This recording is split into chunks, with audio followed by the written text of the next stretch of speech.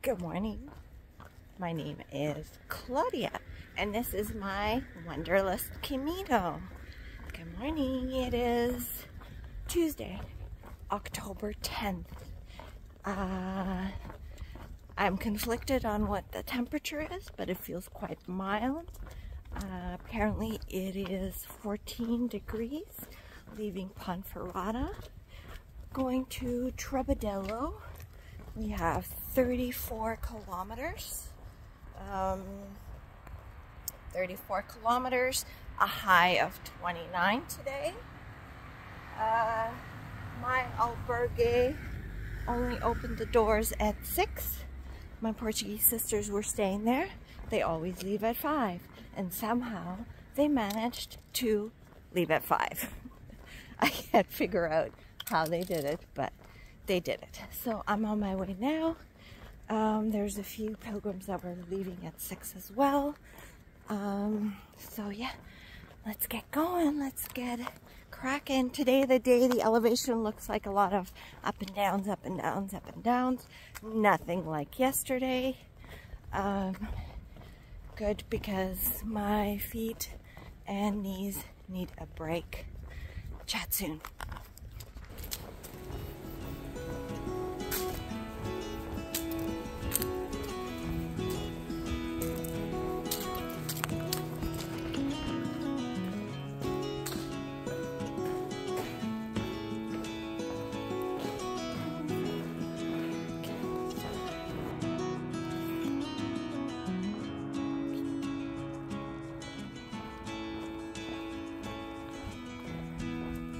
7.35. I found my first open coffee place.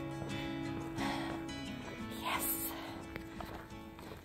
So someone left me a question and asked me, how did you plan the Camino or how did you... It was something on the lines of that. Um, I wasn't sure if they meant train. Um, but I've already talked about my training for the Camino, so let's talk about plan. So how did I plan for the Camino? Uh, well, I knew I wanted to do the Camino many, many, many years ago, and I let my boss know because uh, I'm not retired, so I needed to take six weeks off vacation, and that's quite a long time to ask for. So, um, with my kids being in university, I knew that this would be the year. It was also the year I turned 50, so I thought this would be a great way to celebrate turning 50. Um, so then had to narrow down the months and I was debating between June and September and um, I ended up picking September because of the temperatures. And guess what? We've been having summer temperatures. So, um, so after that, what I did was I used, um, I watched YouTube videos, um, but I also used uh, Stingy Nomads. They also have videos but they have a website. I think it's just stingynomads.com and it's all about the Camino. And they give you different um, uh, walking stages and then the albergues. So I kind of use that loosely uh, to plan my days and also by watching other people's YouTube videos uh, I decided what towns I wanted to stay in. And then I used Google Maps to sort of map it out. Like I created a map on Google Maps, like a personal map. And I mapped out all the towns, um, the main stages from Saint Jean to uh, Santiago. And as I was watching videos, I would um, mark, uh, like, uh, put it on my Santiago list on Google Maps. Like you save it as on the Santiago list of like places that I would like to stay or, you know, places that I thought was interesting or whatever I saw on YouTube videos that I um, wanted to see or, uh, well, you get the point. Anyways, so after that, um, I had an Excel, uh, Google Sheet uh, that I created with uh, all the days. And then I wrote like 1 to 40, I think it's 41 days total. And then what day of the week it was. Because you got to remember Sundays, everything is closed. So I highlighted the Sunday so I know what towns I would be in. And then I started mapping out my towns. Um, I'm very type A. Being organized like that made me feel good and I liked it. I booked a lot of my accommodations ahead. Um, the Meseta I kind of left open. Uh, yeah. And I used booking.com for most of my uh, bookings. Um, and then you have different levels on booking.com. Like uh, if you have five stays, then you start getting 15% off and um, free upgrades and stuff like that. Uh, so I used that to book um, my stays in Madrid, Pamplona. Um, I knew I wanted to stay in the Parador after I heard that I could get a pilgrim's rate, so I did that. I sort of mapped out my days and figured out when I would be in Leon. Uh, in a way, did I, uh, like, was it too rigid and I didn't leave enough room for, you know, oh, this day I just want to do this or whatever? Yes, but because I was, I have to be in Santiago on the 16th and then I have to fly back, I had to stick to a schedule. I think if I was retired and time was no object, like if I had all the time in the world, I wouldn't have pre-booked. I would have pre-booked maybe two, three days ahead. I think that would have worked out fine if I did that. Um, I think once you start going into Sarria, you need to book like at least a week ahead. Uh, even now, it's quite busy. Even now here, it's quite busy. Um, I know it doesn't seem like it because I've been walking for hours and we haven't seen a lot of pilgrims, but it's busy. Uh, so what else did I want to say? So that's how I planned that.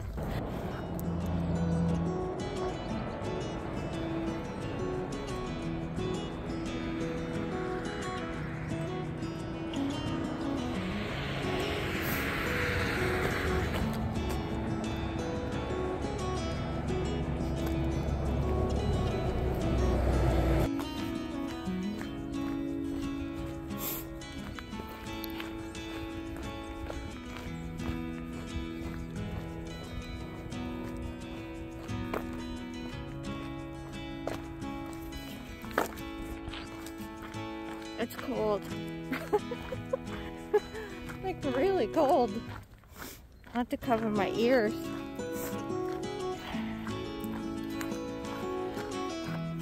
I think it's time I retire my sun shirt over the the mid layer because it, it's chilly this morning. Like cold, cold.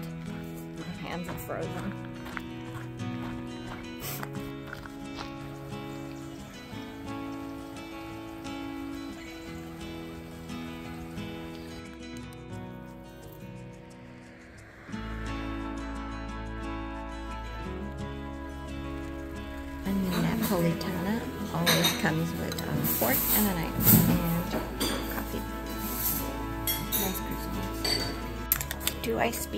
Spanish? Un poquito. How do I understand Spanish? Well, my parents are Portuguese. I was born in Germany. And uh, that's how I understand Spanish. I find that they're very similar. And then I speak fluent Hey! Hi, Ivy.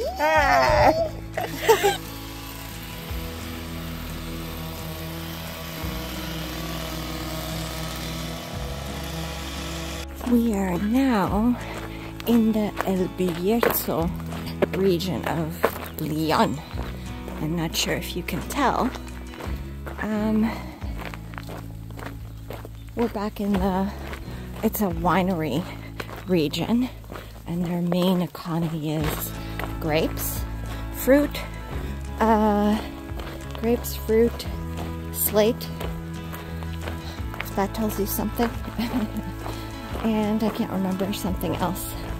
Um, yeah. So, uh, but these grapes, not that I know anything about wine, these grapes look a lot smaller. And the grape wines are a bit different. Um, and the grapes are tiny.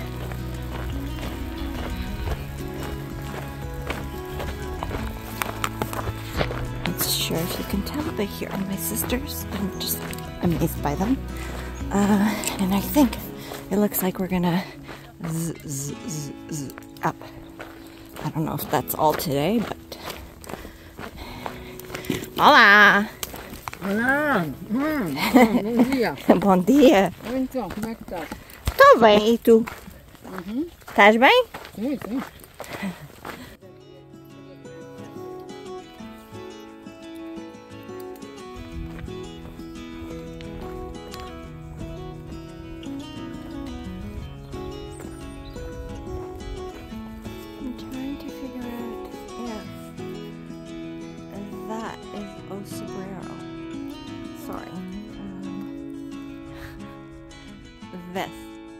Where we're going tomorrow.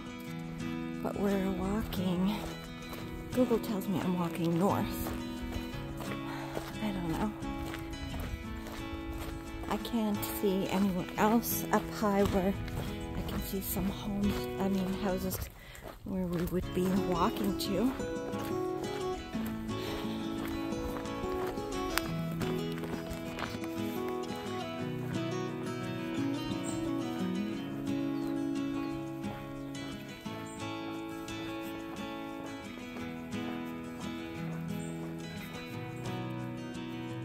Okay, I am in Villafranca del Bierzo.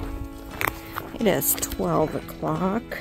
24 and a half kilometers walked in 5 hours and 27 minutes. I am going to rest here. I have another 10 kilometers after this.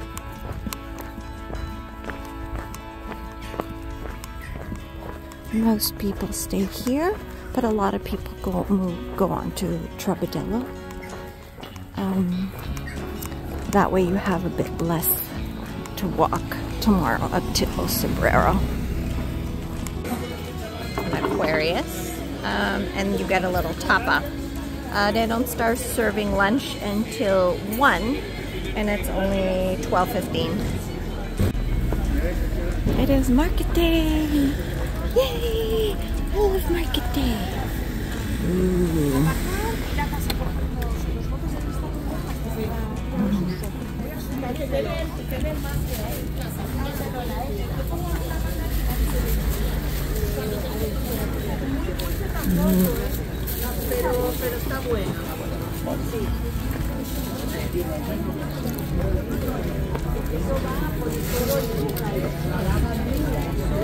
Oh, different lentils and beans. Very nice. Darn it. I missed the octopus.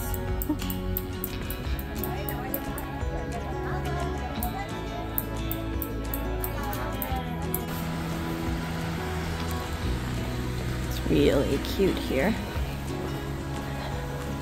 I can see why a lot of people stay here. If you go up this way, it adds a kilometer and a half. If you stay here, it's only nine kilometers. So I'm staying down here. I mean, I think eventually I have to go up. And this will take you through a town. If you go up, it'll take you through a town. If you stay down here, I think it's just um, after that. That's all.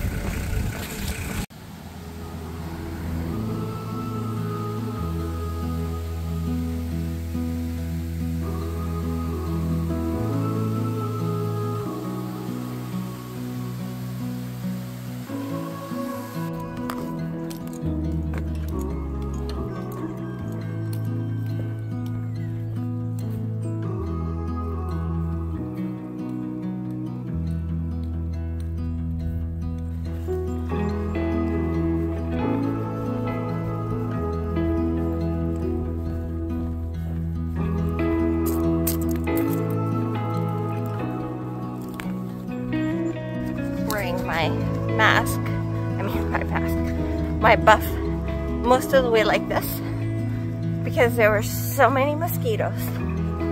So many mosquitoes over there. It was hard um, uh, to not, because they were flying all around your mouth and nose. So I've been walking like this. Arriving in Trabadelo. Uh, it is 2.30. 33.27 kilometers. Uh, we're still in the outskirts. What is it? Seven hours and 22 minutes. yeah. It is hot out. Feels really hot. Um, I've been mostly walking along the side of the road since leaving Villa Franca del Bierzo. Just getting to Trabadelo. And this, it's been like this the whole time. Uh, lots of shade. Uh, so it's the road on this side. And then below we have the river. Um, yeah.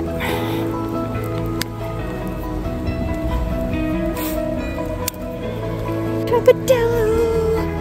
I made it! I don't see the town yet, but the bend. I think I see some houses over there. Very happy. This is me. This is uh, Susi.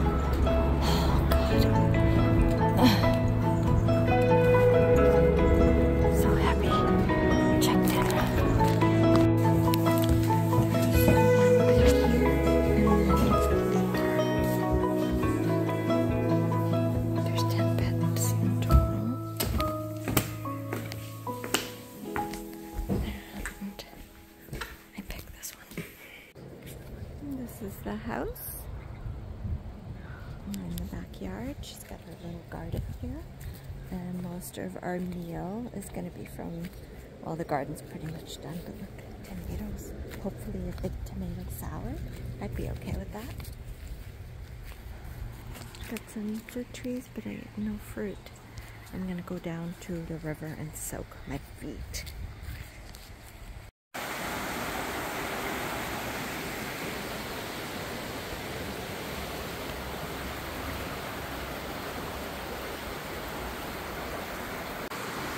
Ice, ice cold water. like I wish I was sitting in the sun, because then your body warms up. Because the water is like ice cold. ice cold.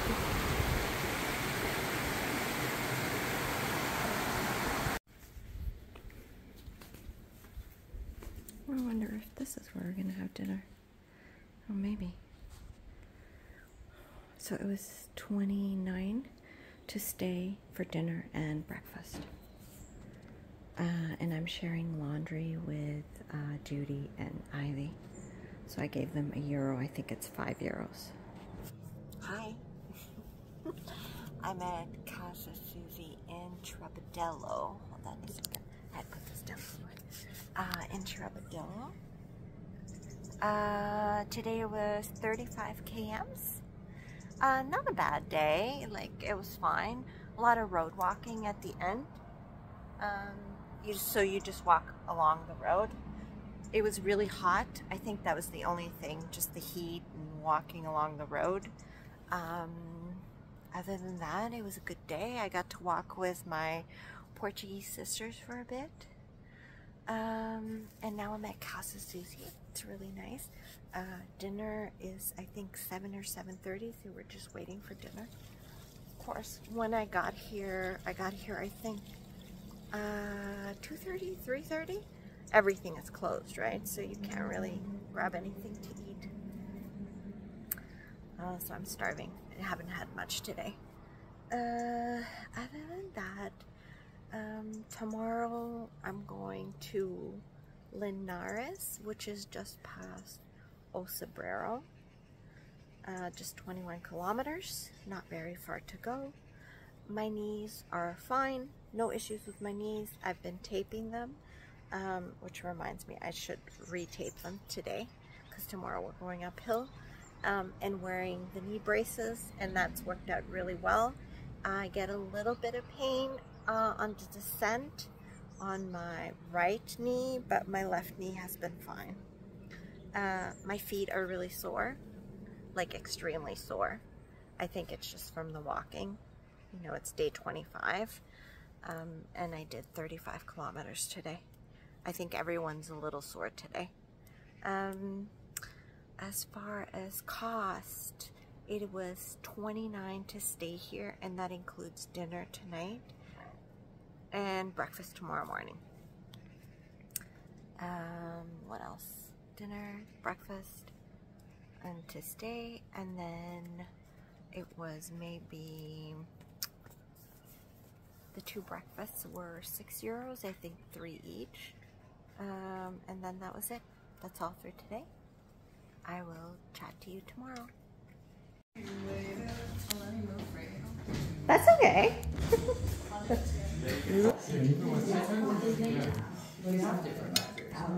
uh,